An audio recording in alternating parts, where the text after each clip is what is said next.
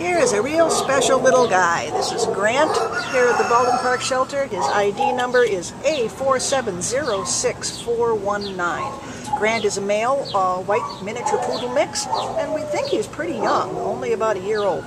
He came to the shelter as a stray on May 7th from Baldwin Park. He weighs about 20 pounds. Grant is going to need a special person for a special dog. He really needs some attention. He's very, very fearful here at the shelter.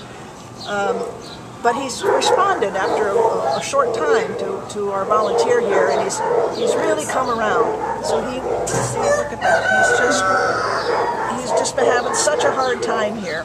So if you've got, if you're the kind of person who can give Grant that attention that he needs, he's going to be a wonderful little companion. He already walks well on a leash.